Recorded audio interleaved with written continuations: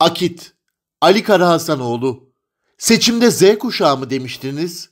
Cumartesi günü CHP ve ona yanaşan AK Parti eskilerinin İstanbul'daki Maltepe mitingini izledik.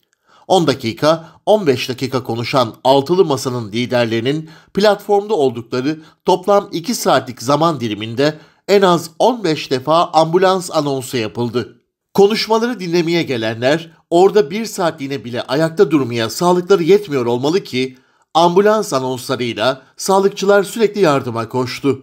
Oysa bu 6 artı 1 ittifak neyle övünüyordu? İlk defa oy kullanacak 5 milyon genç seçmenin büyük çoğunluğu muhalefete oy verecek. Onların iddiasına göre gençler Millet İttifakı'ndan yanaydı.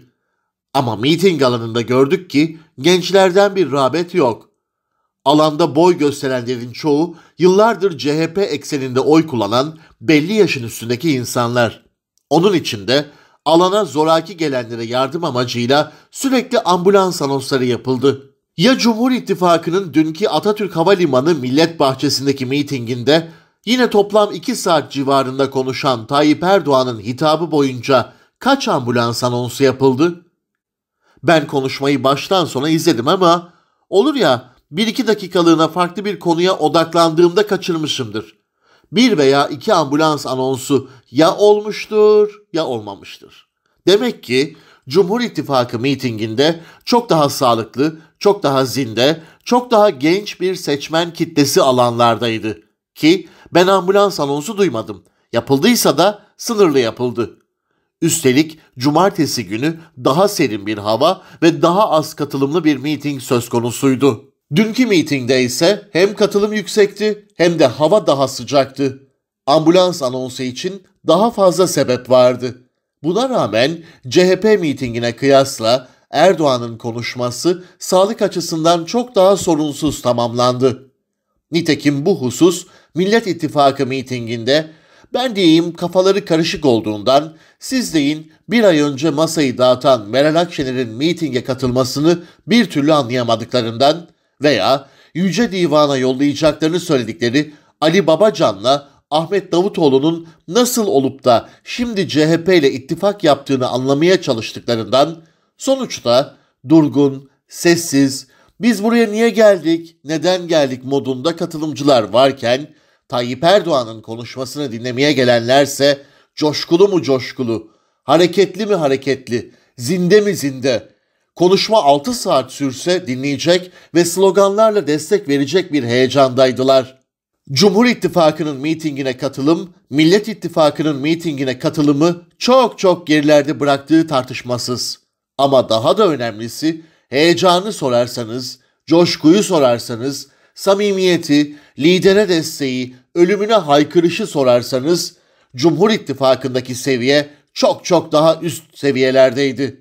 İstanbul'daki tarihi mitingin haberi Ekrem İmamoğlu'na ulaştırılmış olmalı ki bir hafta sonra hayalindeki Cumhurbaşkanı yardımcılığının 10 ay sonra da şu an oturduğu İBB koltuğunun da altından kayacağını fark ettiği için Erzurum'da şova soyunmuş.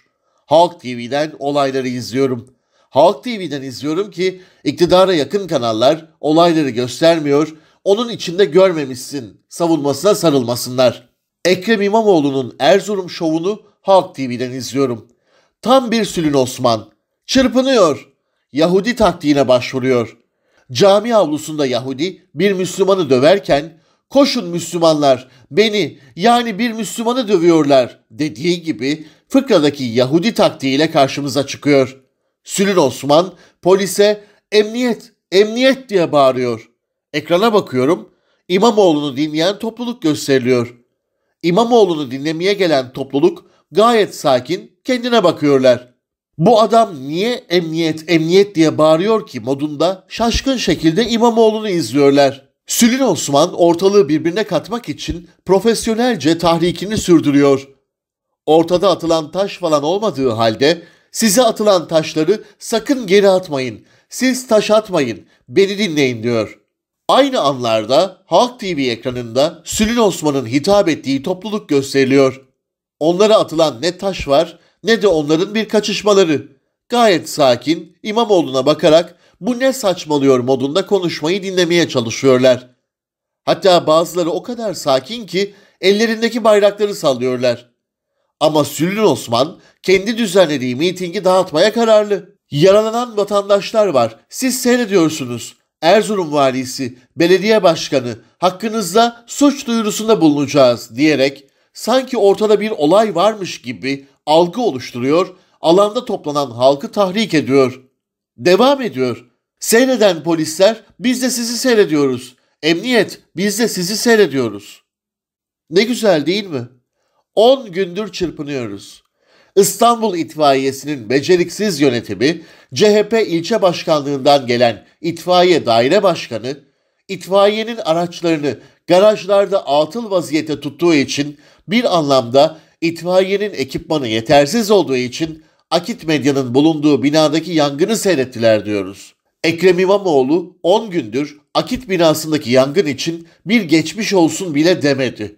Bu nasıl İBB başkanlığı? Bu nasıl 16 milyonu kucaklamak diyoruz?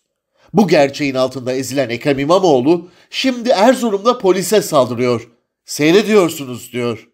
O polisler senin ekipman vermediğin, donanımlı araçlarını elinden aldığın, ekip amirini onbaşı, onbaşıyı ekip amiri yaptığın itfaiye mi ki seyretsin Ekrem? Yangını seyreden senin itfaiye daire başkanının görüntüleri de ortada.